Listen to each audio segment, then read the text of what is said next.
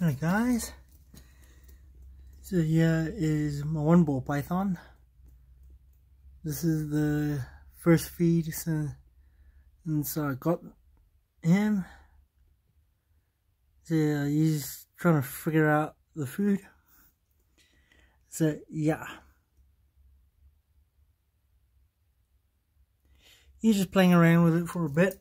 Or the other one I've put in here because I remember last time and I had two corns, well, when I had the baby corn snakes, the one baby bit the other one. So yeah, just so don't have anything like that happen with the ball pythons, I've separated them. So yeah.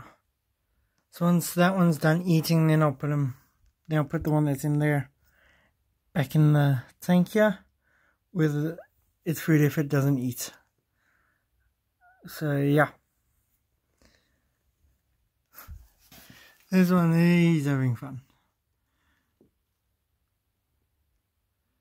So yeah.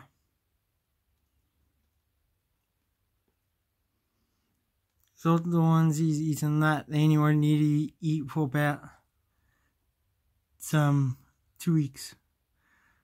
Because I feed my snakes once every two weeks so yeah the yeah you should be able to swallow that nice and easy.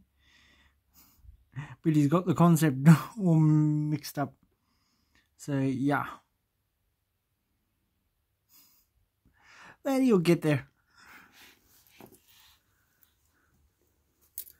He needs to go from the head first going down to the tail which is more or less at the head but he's just fighting with it So yeah, I'm trying to get him to let go of that is going to be a mission.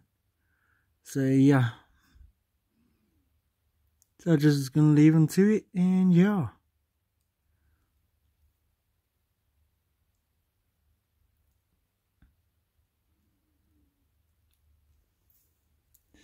This is just amazing. To watch, but so yeah.